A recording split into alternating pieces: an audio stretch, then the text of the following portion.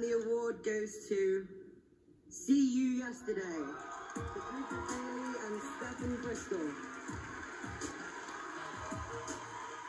Director Stefan Bristol co-wrote See You Yesterday with Fredrica Bailey and based it on his short film of the same name.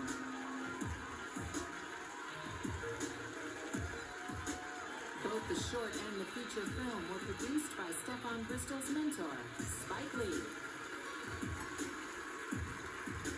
One of Bristol's favorite films is Back to the Future, which inspired See You Yesterday's Michael J. Fox cameo.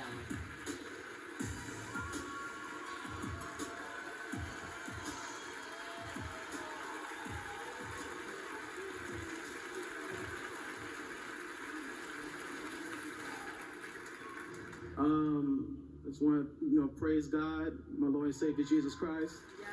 Without Him, um, this this is fantastic. I, I was not expecting this. I want to um, thank, um, you know, Film Independent and, and the voters and um, my Morehouse brother Spike Lee for believing in me. Um,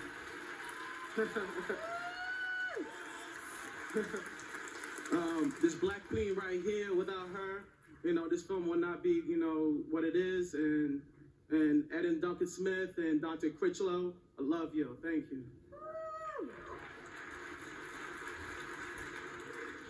I'm just so shocked.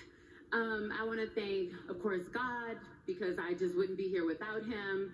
I want to thank my mom, my dad, who is no longer here, but definitely here in spirit, as well as Netflix for all your support and your love. Of course, Film Independent, the voters, and of course, the man, the myth, the legend, Spike Lee, who has made this all possible. Thank you so,